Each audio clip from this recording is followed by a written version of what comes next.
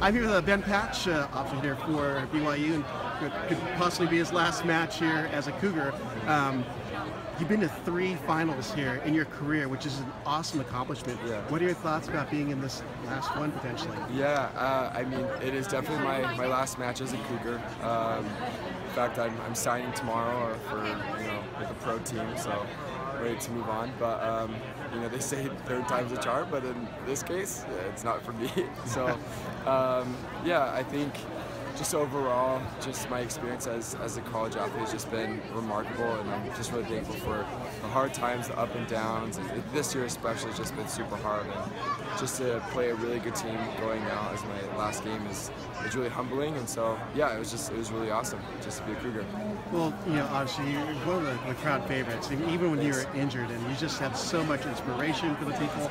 I mean, how does that make you feel as a player that that's so well followed? Yeah, thank you for saying that. Uh, I'm, I don't know, I really just, I love people and I, I love that people enjoy this sport and, and I, I want people to get to know me and I, I want to get to know people so I, I feel very fortunate that I have so many people that are willing to like open their hearts up to me and I will try my best to open my hearts up to them, so yeah.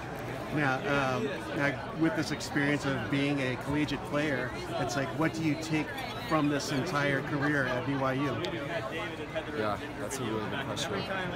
For me, I, I want to have a long career ahead of this, ahead of me, and I think just the most important thing that I have learned as a Cougar is, you know, things just don't always go your way, and that's how you react to it. You can you can react with, with class and, and dignity and humility, or you can have arrogance and pride. And I uh, I think just this long road ahead of you know USA volleyball and pro teams, it's just a matter of being humble and working hard and trying my best. So Excellent. yeah. Well, uh, thank you for taking the time for course. FloVolleyball, and I uh, look forward to seeing what you do on the USA and international level. Thank you so much.